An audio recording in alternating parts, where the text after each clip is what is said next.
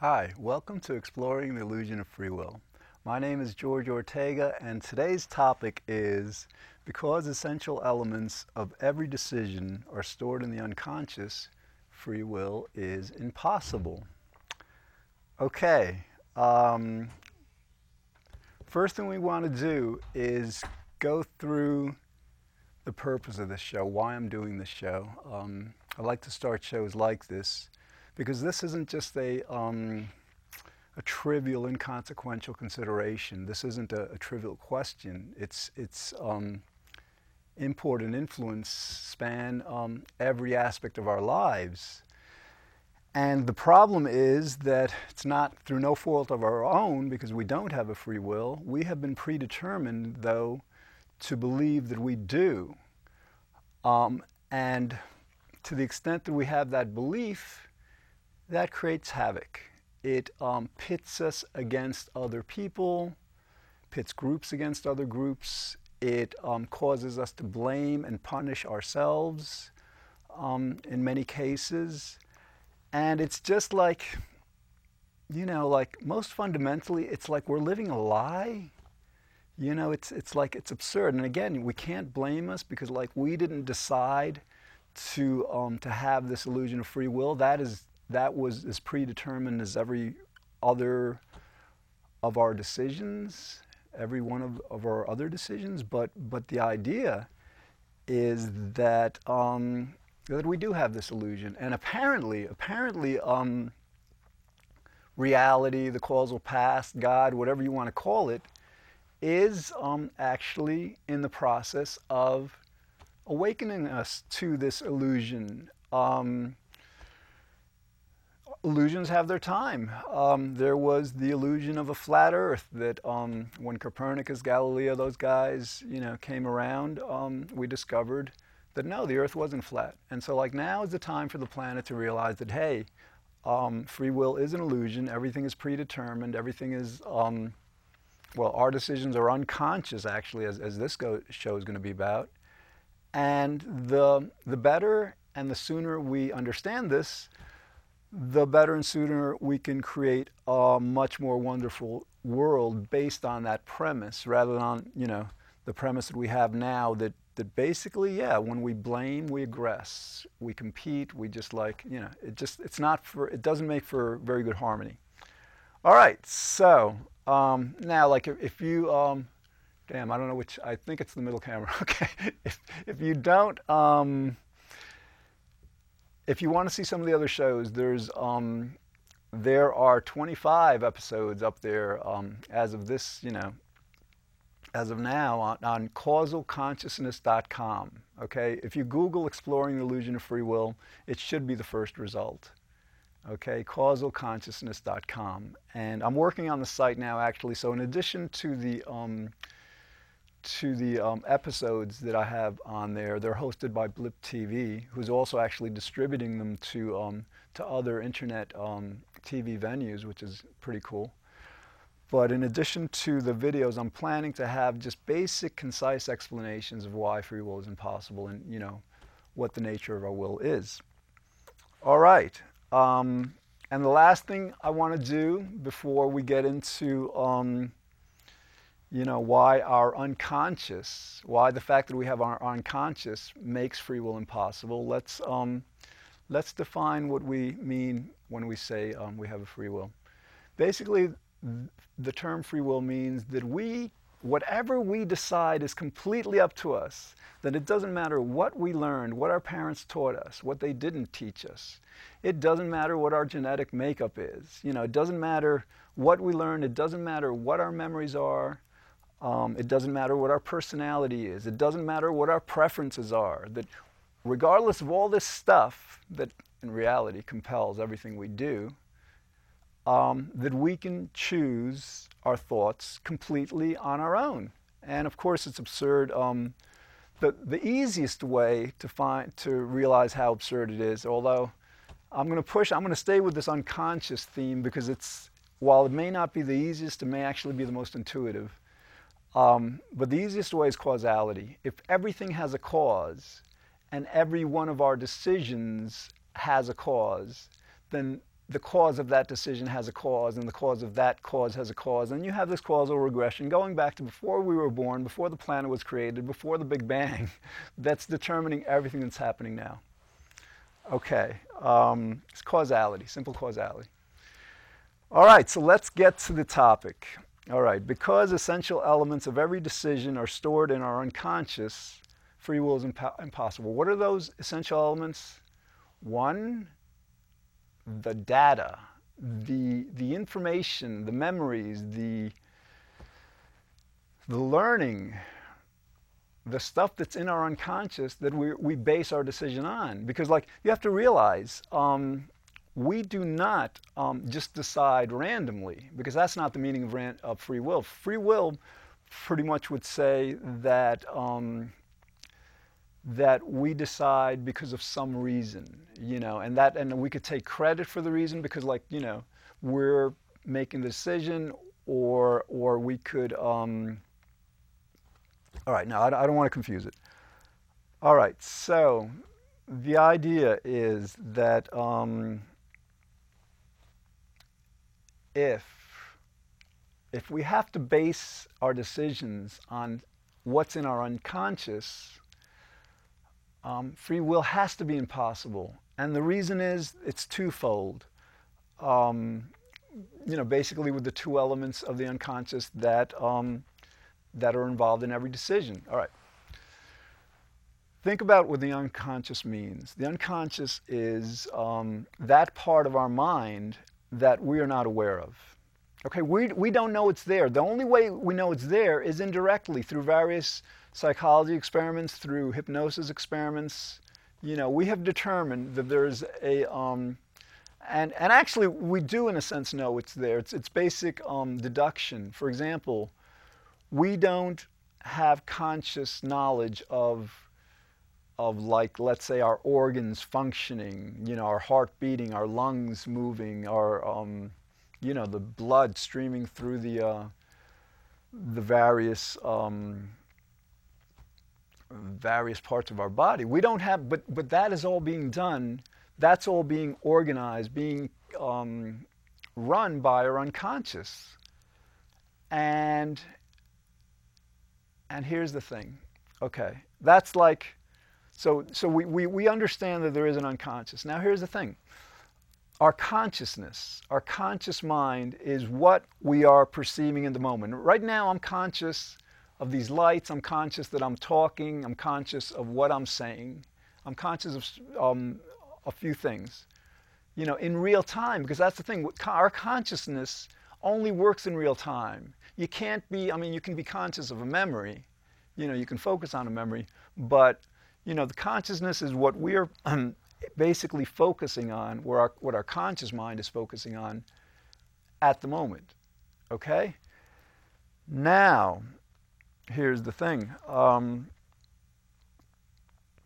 our, our conscious mind cannot in any way retain all that information that we've learned. In other words, like the data, the information, the memories, the morals, the principles, the values upon we base every decision, um, we can't store all that stuff in our conscious mind.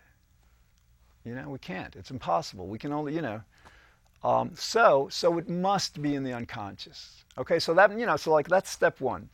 Every decision that we make has to draw on the unconscious for reasons why, um, why we make the decision, for motivations, for the basic rationale for the, the decision. And it could be, it could be even actually, um, could be an emotion also, but that's, that, that would complicate it. I mean, I've done shows on that. Okay, so so that should tell you. That should tell you right off that if what we're basing our every decision is in our unconscious, and we're not conscious of the fact, we're not conscious of that material, we're not, you know, conscious of, of our unconscious, again, that's why they call it the unconscious, then you have a part of us that we have absolutely no con- uh, control of taking a major part, you know, the, the data in every decision we make. Think about it. Um, if you don't understand yet how our unconscious makes free will impossible, then consider the second major element in every decision. Um, you have the data upon which we make decisions, the memories, whatever, and then you also have the decision making process or processes, depending on how you want to see it. Okay, now here's the key point. If all of the data upon which we're basing our decisions is in the unconscious, and by definition, clearly, our conscious mind can't, cannot in real time access that, because again, it's unconscious, then the only part of our mind that has access to that information upon which to base a decision is in the unconscious. It's a part of our mind. In other words, like so to have access to that information in our unconscious, um, the only thing that has access to it is the unconscious. So there's a region of the unconscious that, um, for example, stores the information, stores the memories, stores the um, the learning, stores the considerations upon which we're going to base um, our decision. And then, but you know, that, that can't be all of it. There has to be the decision making process. And a lot of that we know in terms of preferences um, principles. You know, we, we, we tend to want to seek pleasure, avoid pain, do what's right, survive, procreate, whatever. You know, we have all these drives. They're both, they're sometimes these drives are both unconscious and genetic. In other words, they weren't learned. We were just like hardwired with them. So, so again, the, the, the salient, crucial point to understanding this is that the only part of our mind that can access the information upon which to make any decision is in our unconscious. Now, you cannot have an unconscious free will because that is simply just absolutely not what the term free will is, as you know, it's been used for hundreds of years, um, means. You know, if, if, if a part of us that's, that we, we don't even know is there, let alone we, we can't even control it, is making our every decision, you know, based on knowledge that we can't access because it's also in our unconscious, then clearly free will is an illusion. Then clearly there cannot be free will. It, it must be impossible. Okay, and you know, this, this particular proof, I think I'm going to do a lot of episodes on. And the reason being is that um, it really hasn't been explored much. Um, I may be actually the first psychologist philosopher that's really pushing this. Uh, you might see this um, this idea that we have an unconscious and um, our decision making and data storage is both unconscious. You might see certain philosophers, psychologists briefly mention this fact because it's you know it hasn't escaped everybody's notice. Um, but but nobody has yet um, actually run with it. Nobody is, has actually just like taken this consideration and said, wait a minute, this is the way that people can very easily understand why free will is impossible. Um, I got to toot my horn. I got to like do my, my own self promotion on this. Um, Freud, Freud um, was um, one of the major things he did was he didn't discover the unconscious because the unconscious was known before him. I think it may have been known as far back as the Greeks. It certainly was known by the hypnotists or mesmerists that preceded Freud. So, so basically, you know, Freud didn't discover the unconscious, but what he did do is he made the public, he made the world aware of the unconscious and its importance, although not its complete importance because he didn't really focus on this issue of human will so very much. He did get it. He did get that, um, that free will is impossible, but he didn't consider it important, which, um, whatever. All right, so the idea is um, so now what Freud did the, um, with regard to the unconscious, is he also like, it's my understanding, he kind of like developed talking therapy, you know, psychotherapy in general, and there may have been, that may have been preceded by a few others, I'm not sure. But anyway, um, Freud is credited not for discovering the unconscious, but for bringing it into the public spotlight, for taking it from ac- academia and medicine that, you know, people knew about it, but like sometimes with knowledge like this, fine, it's all right if academia knows about it. If it, it's, if all right, excuse me, it's all right if the medical profession knows about it. But unless people understand it, unless society understands it, then there's going to be limited utility to some kinds of knowledge. And certainly this knowledge about free will falls clearly within that category. So, so Freud, um, Freud brought the truth of the unconscious into the public spotlight, and he, you know, pretty much explained why it's important to understand this, you know.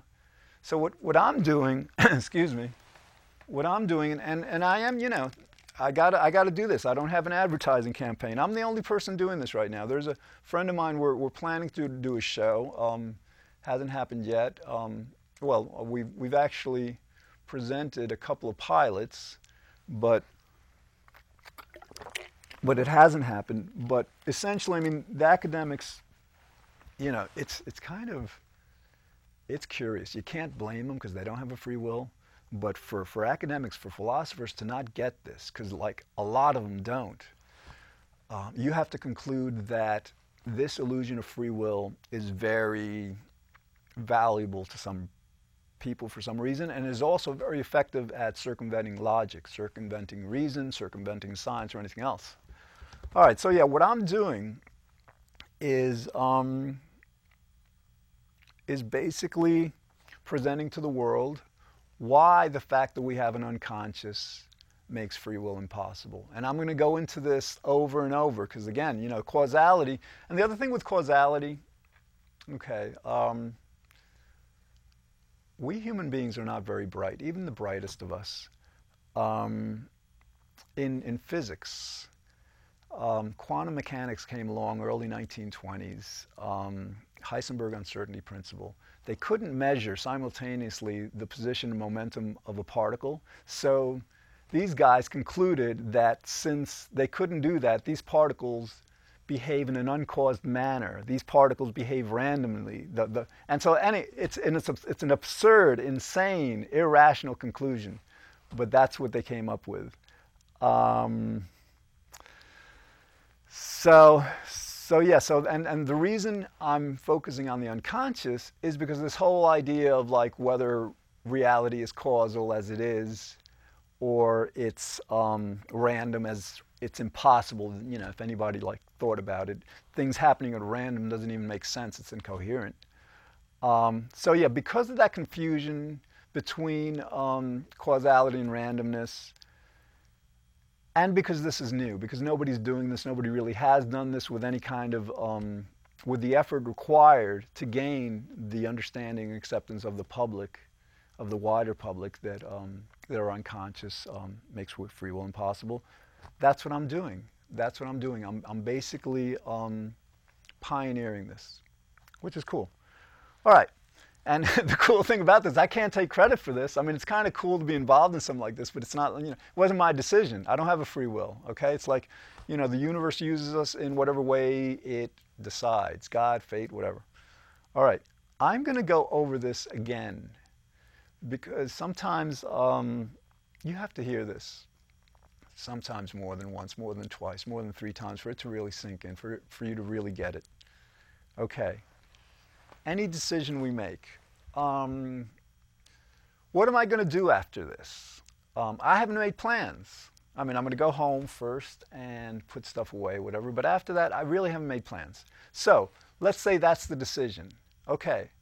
Now, all these possibilities of what I could do, they're not in my consciousness. Because again, the conscious, my conscious mind can only focus on one thing at a time. In other words, I can't at the same time focus on well, take a walk, go shopping, um, get something to eat, um, listen to some audio files, whatever. I can't, you know, all that stuff cannot be in my conscious mind at the same time. So all these possibilities are in the unconscious mind, in my unconscious. Okay? Now, my conscious mind, my will, okay, let's, let's, you know, let's, my will um, is, is really my, my volition, that which I decide, oh, I gotta, wait, I gotta explain this better. Okay. My, not my will, my conscious mind cannot access that information of, you know, all these considerations, what I'm gonna do, you know, because again, they're in, in my unconscious. So it can't make the decision. It's not aware. It's not aware even of this region of the brain where all this stuff is stored. It's only aware of it when the unconscious decides to make the conscious mind aware. so, so, okay. So what we have, if the conscious mind cannot access the data in our unconscious, it certainly can't decide based on it. And if it can't decide based on the data in the unconscious, what is it going to base its decision on? Um, the only other thing that comes to mind right now, I mean, it's certainly genetic and um, drives and all that, you know, but that's, that's hardwired. That's not going to help free will. The only other kind of considerations that come to mind is real-time perceptions. In other words, I might make a decision looking at this camera right now. I'm perceiving it, so I'm consciously perceiving it, but that's one consideration. That's not going to be the entire the, the only consideration for whatever I might be deciding, you know, relative to the camera. So yeah, getting back to the example of what I'll do after this. Um, I've got all these possibilities. They're in the unconscious, and the fact that they're in the, in the unconscious means that the only part of the mind that can access them to reach a decision is our unconscious. Okay? That's like, that's so important. And I'm going to keep going with this. Actually, I, I, told myself like when, when I have five minutes to go, I'm going to get into some more other stuff. So, and actually it's about five minutes to go. So I'm going to do this now. All right. Um, yeah, I think, I think, and I'm going to go over this again. If you didn't get it right now, keep watching, check out the website. You will get it. Um, so, the importance of this question. My God, when somebody does something wrong in your life, when somebody behaves in a way that you don't like, you don't understand, you don't appreciate, um, according to the free will perspective, you're going to get angry at him because, like, you're going to say he, she of, of their free will is doing that. They're evil, you know, they're whatever they are, you know. And generally, when we do that, that's, you know, sometimes, more often than should be, of course, um, sometimes we aggress with that person, or at the very least, at the very least, we have these negative feelings in our mind. When we um, form a negative judgment about a person, about a group, then that's a negative emotion. You know, I mean, we might derive some pleasure from it. Sure, there, there are many kinds of emotions and, and circumstances where it's a mixture of pleasure and pain but certainly there's going to be displeasure to, um, to blaming someone. And certainly when you, um, when you have an interaction with that person and you're saying, well, you did that and you're wrong, you're wrong, um, you can understand how the illusion of free will just makes um, human interaction much more difficult because it's, it's, it's an insane perspective. You're, you're actually blaming somebody for doing something that they had absolutely no choice but to do. Okay, and what I like to do to explain this is like, let's say the person was a two year old. Nobody ascribes free will to a two year old toddler. Nobody. So, like, the toddler spills milk, you don't blame him. He's a kid, he doesn't know any better. Uh, the toddler does whatever they do, I don't know. So, like, you, you apply that same reasoning to, to human beings you know, um, a person behaved in a certain way, they can't, they couldn't have done any better. So you don't blame them now.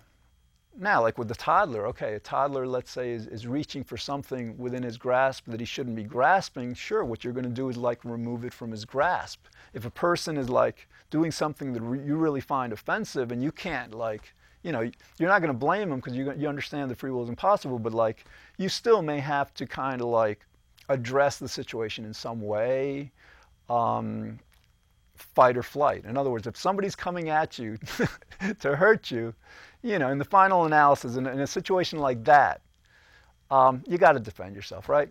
But the, the, the reality of the situation, those life and death situations are very rare. Most of the stuff that we interact with people about is about opinion, about our basic personality. And when you think about it, you know, one way to, to understand this is like somebody does something. I, I tried this with a friend of mine. It works great. You know, somebody does something. Let's say, try this with a friend.